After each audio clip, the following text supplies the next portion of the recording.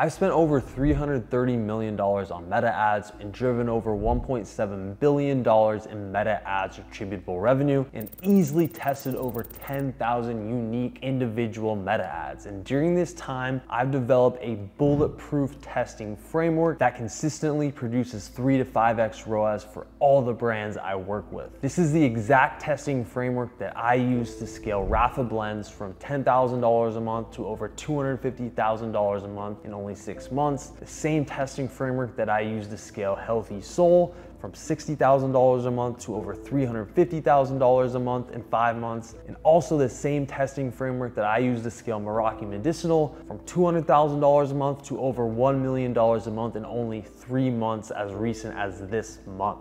And in this video, I'm gonna show you step by step how to use this testing infrastructure for your ad account, for your brand, and how you can use it to find winning holy grail ads so you can consistently scale as profitably as possible in 2025. I'm going to break up this testing framework into three pillars. The first pillar being the foundation, the second pillar being the actual testing process, and the third pillar being how to actually scale these winning ads. I'm going to be going into each of these pillars individually and then I'll dive in and do an actual screen share of what a testing infrastructure looks like inside one of my brand ad accounts. So first, let's dive into the foundation. What is a testing infrastructure? What is a testing campaign? So from a high level, a testing campaign is an ad set budget campaign, meaning you're not using campaign budget optimization. The budget's actually going to be at the ad set level, and this is going to be a broad campaign only. So all my testing campaigns, they're ABO, they're broad,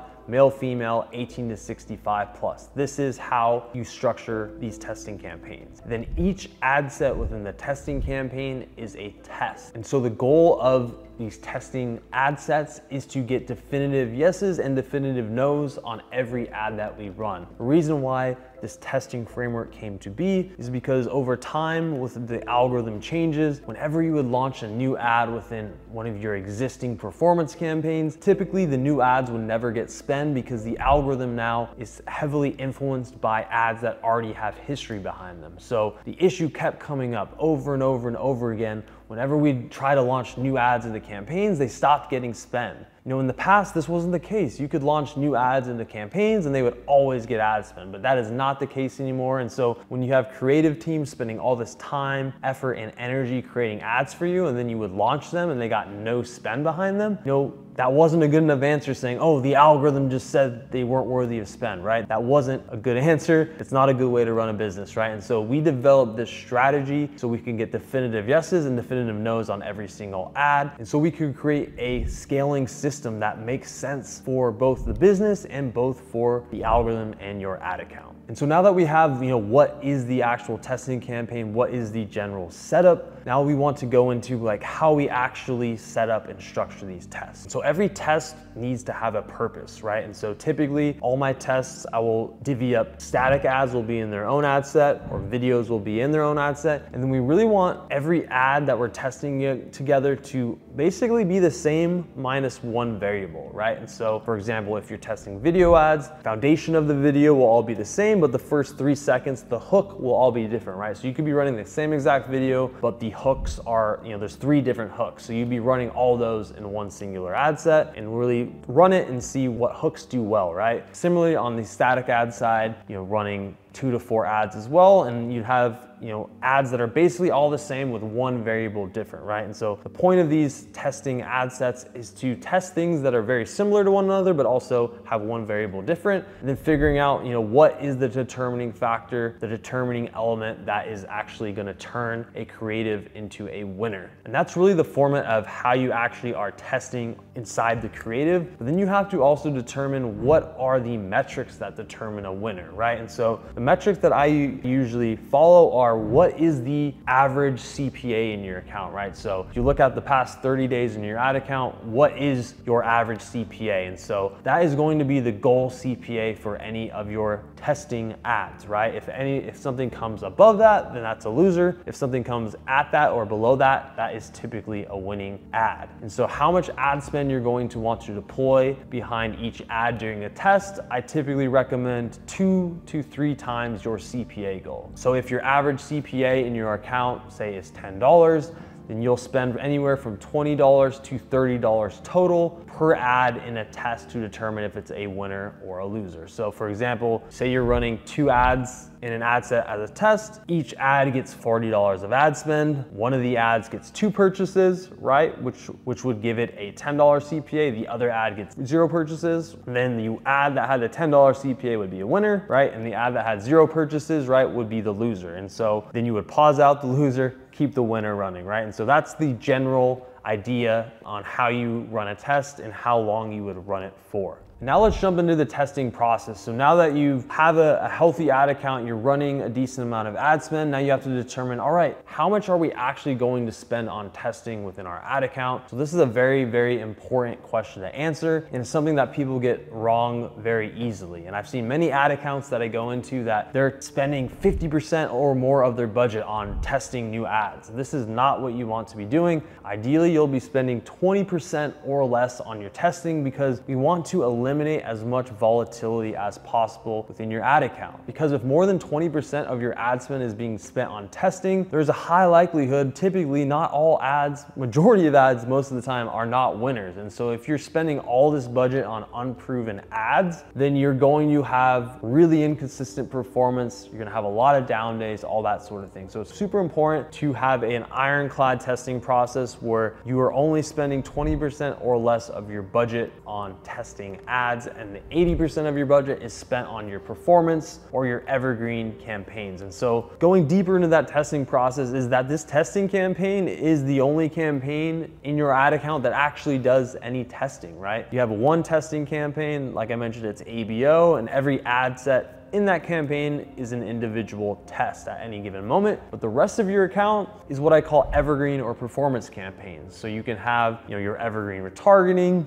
your evergreen Advantage Plus video campaign, evergreen Advantage Plus static campaign, you could have an interest campaign, right? And so you have these campaigns that are always on, and these are your evergreen campaigns, but only winning ads live in these campaigns. And so the point of having these performance campaigns, and so they're built upon a robust data foundation, right? And so that is really what becomes the system in your ad account. You test ads in your testing campaign, and then the winners get graduated from your testing campaign into your performance campaigns, and the losers get paused out. And that's just the system every time you'll launch new ads in the testing, they'll either be killed or they'll be graduated. And this is just the system that's always, always, always being implemented at all times within your account. And you need to be determining as a brand as well, uh, you know, how many ads you should be testing per week, right? And so you're going to be testing at least five to 10 creatives a week, no matter how much you're spending on ads. And you're gonna wanna be doing this every single week. The biggest mistake I see advertisers make is that they find a winning ad and then all of a sudden they stop making new ads, right? So you need to build it into your systems and make and build a muscle of always be testing, always be testing. And this is something that never ends. It's exhausting, right? You're always gonna be testing stuff, but it really is pivotal to being successful as an e-commerce brand. And last, moving into the fun part about testing, scaling. So what happens when you actually find a winning ad? What do you do? So like I mentioned, the losers get paused out and they get thrown out to the side, but the winners, the best part about them is that they can be scaled in multiple places. So the first place you're going to scale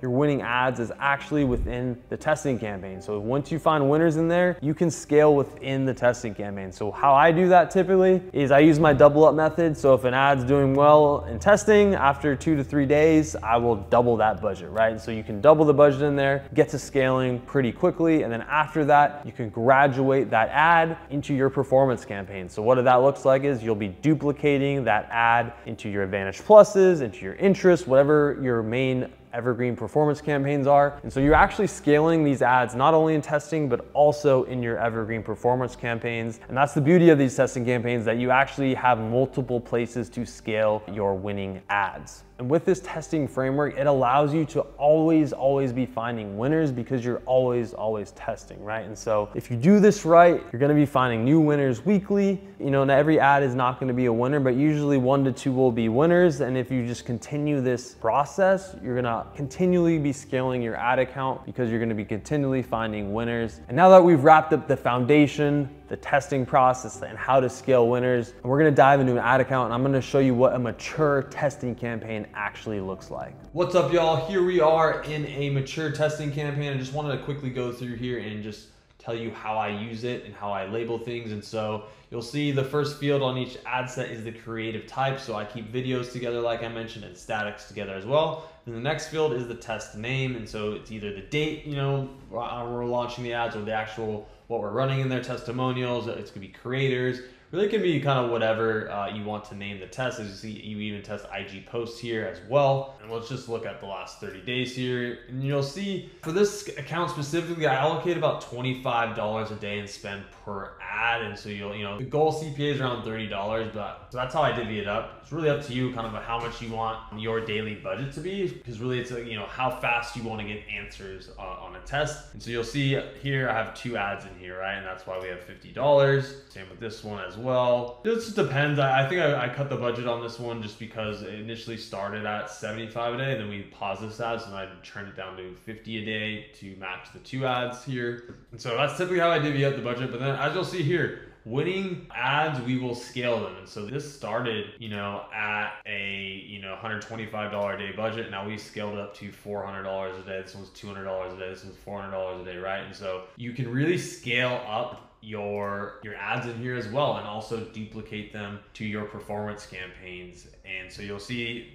this is a testing campaign here. And then we also have performance campaigns statics videos and so that's what this testing campaign once you have a winning ad in here you not only can scale in here like we do but then you straight up just duplicate you know duplicate it into your advantage plus right? So you can pick out your advantage plus. So that's really the process here of how we use the, uh, the testing campaigns is really we want to get definitive yeses or nos on every ad keep videos together keep statics together. If you get a winning ad scale it up in here do not pause it. Winning ads always get scaled and do not get paused.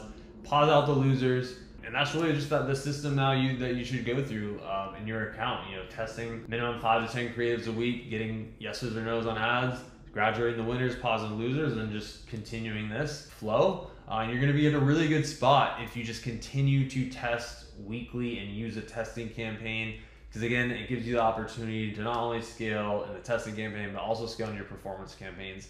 And the last caveat here is that when you duplicate a, a, winning ad into your performance campaigns, it is not guaranteed to do well in there. Sometimes it doesn't. I've had ads that just don't do well in the performance, but they crush it in the, the testing campaign, right? So that's you know the beauty of having them running in both is that if they don't work in one, though, they're, they're still working in the other. And then one last thing I want to show you here is I do not exclude audiences in testing. The reason for this is we want we want to know if this ad drives people to order. And so we don't care if it's a past customer, we don't care if it's someone on your email list, we don't care if it's someone who's engaged with you already.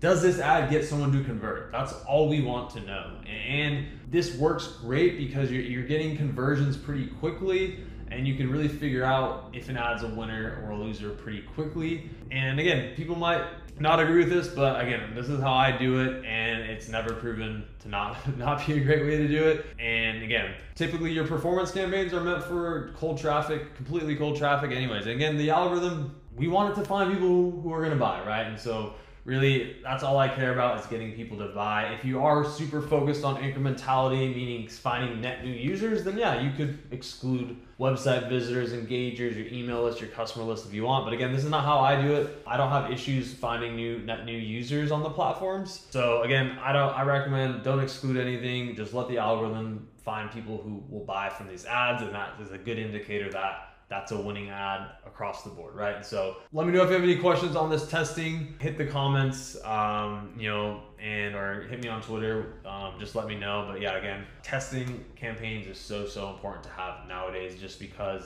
the algorithm will not give your ad spend guaranteed unless you do it in a testing campaign.